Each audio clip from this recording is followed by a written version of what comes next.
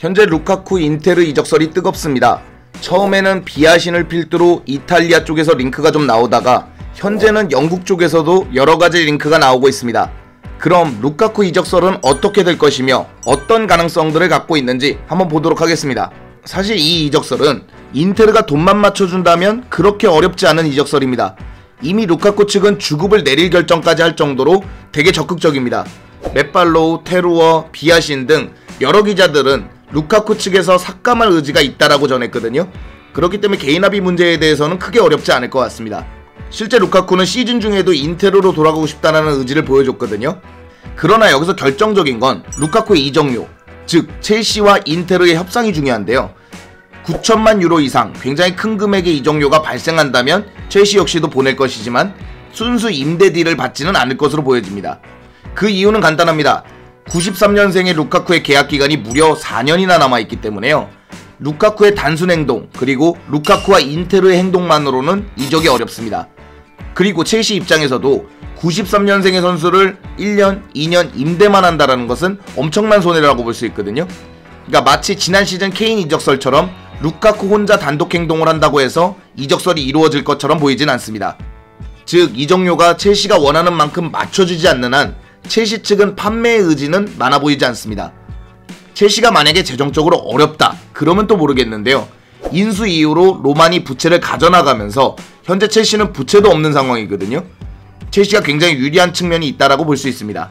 그러면 첼시 측이 보낼 수밖에 없는 상황이 놓일 수도 있지 않습니까? 그런 상황을 보도록 하겠습니다. 현재 첼시는 지난 시즌 극심한 득점난으로 현재 스털링, 뎀벨레, 은쿤쿠 등이 거론되고 있습니다. 즉 on the ball이 되고 chance making이 되는 이선 자원을 좀 노리고 있는 것인데요.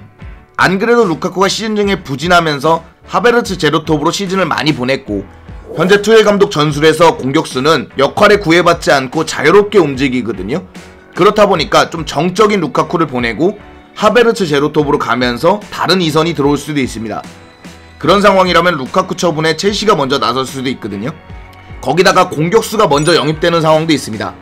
실제 가능성은 매우 낮지만 레반도브스키가 미넨에서 나갈 것으로 보여지니까 첼시랑도 링크가 있거든요. 거기다가 뉴네즈 같이 나올 것으로 보여지는 자원들도 조금씩 조금씩 링크가 나니까요.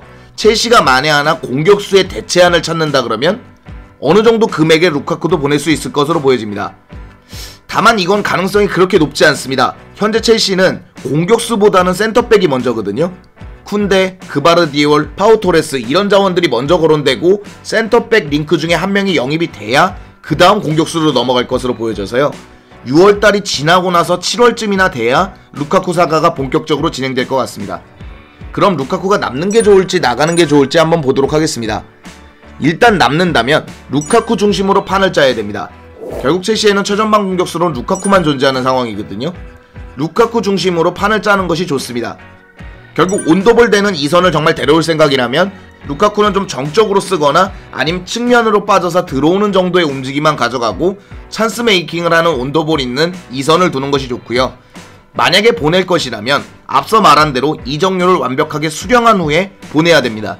93년생의 제법 나이가 있는 선수를 임대 몇 번 보냈는데 그 deal이 제대로 진행되지 않는다면 뭐 바카요코나 드링크워터처럼 시간은 시간대로 보내고 손해는 손해대로 보는 그런 deal이 될 수도 있습니다. 자, 그래서 루카쿠 이적설에 대해서 한번 다뤄봤는데요. 개인적으로 첼시 팬으로 그렇게 이해가 되는 이적설은 아니지만 어쨌든 루카쿠는 다시 한번 인테르 return에 대해서 도전하고 있다라는 말씀을 드리면서 오늘 영상을 마무리하도록 하겠습니다.